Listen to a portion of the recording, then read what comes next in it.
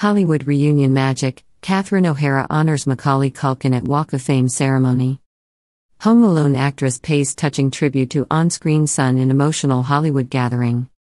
In a heartwarming Hollywood Walk of Fame ceremony, Catherine O'Hara, the esteemed actress renowned for her role as Kate McCallister in the Home Alone series, reunited with her on screen son, Macaulay Culkin, to celebrate his induction into the prestigious Walk of Fame. The December 1st event saw the on screen mother and son sharing a sweet reunion, with Catherine O'Hara, 69, taking the stage to introduce and honor Macaulay Culkin. Fondly recalling memories from the early 1990s when they filmed the beloved Christmas series, O'Hara expressed the enduring popularity of Home Alone worldwide.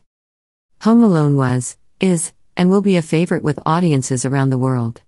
The reason families can't let a year go by without watching this movie together is thanks to Macaulay Culkin, stated O'Hara, emphasizing Culkin's charming sense of humor, intelligence, and natural acting that have endeared him to audiences globally.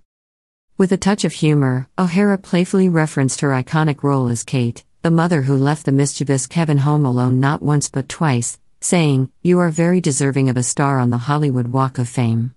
And thank you for inviting me to share in this special occasion. I'm proud of you.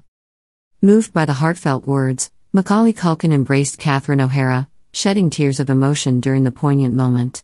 The 43 year old actor also invited O'Hara to join him in unveiling his star on the renowned avenue. Hollywood Walk of Fame producer Anna Martinez expressed the significance of the reunion, stating, Macaulay Culkin has been a part of popular culture for decades.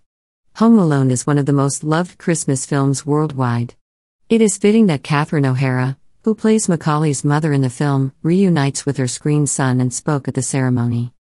Macaulay Culkin, born in 1980, rose to fame as one of the hottest child actors in the 1990s, earning a Golden Globe nomination for Best Actor in the Musical Comedy Movie category for his role as Kevin McCallister. Despite encountering personal challenges in his late teenage years, Culkin has made a triumphant return to acting since 2019.